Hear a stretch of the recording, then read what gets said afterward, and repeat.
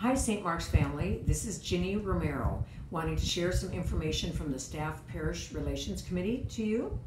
First of all, we're thrilled that Alan has been reappointed to St. Mark's for his 10th year. He has really worked hard to rise to the challenge of all this technology to provide our services online, on the phone, on TV, and um, we are thrilled that he is doing that for us with the help of Irene Celadon and several others of you that are helping him. I also want to um, thank the rest of our staff. They have worked really hard, long hours to help us keep our ministries going. Thank you to you for the financial contributions you have made to St. Mark's in keeping your pledges and your giving going.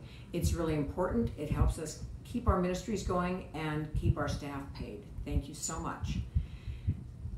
In September, St. Um, Staff Parish Relations is looking forward to meeting with Reverend Shinya Goto. He is our new Los Rios District Superintendent, and he shared the prayer in the recent worship service online and shared with us that he came to the United States when he was 12 from Japan.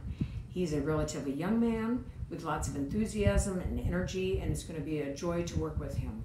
Staff Parish will be working, meeting with him in September and starting the discussion about what we'd like for our next senior pastor when Pastor Allen retires in June of 2021.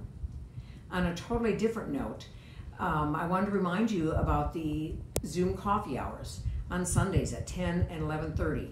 Mom and I enjoy them so much that we are often in on both of the uh, coffee hours just so we can see more faces. I hope many, many more of you will come on. It's just a fun way to get to see people, hear different things that you'd normally hear at coffee hours, and just very enjoyable. I hope you're all staying well and healthy and filling your days with meaningful things that you enjoy doing. I look forward to talking with you again soon. Take care.